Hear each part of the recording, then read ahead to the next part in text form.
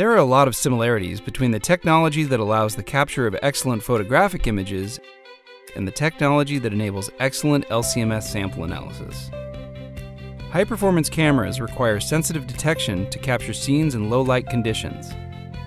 Similarly, some mass spectrometers have the capability to confidently detect trace level analytes.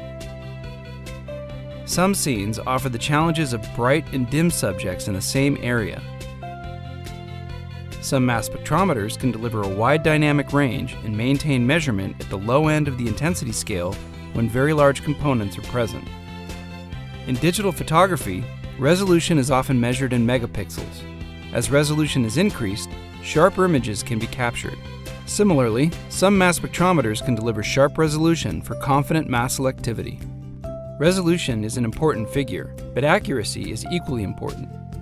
You want images that are true to life, much like you want your mass spectral measurement to be accurate in both mass and isotopic pattern. Just like in photography, you need to be able to capture fast moving subjects with adequate speed. In chromatography, that means acquisition rates that can adequately sample across a chromatographic peak, whether the separation is performed on UHPLC, SFC, GC, or even 2D LC.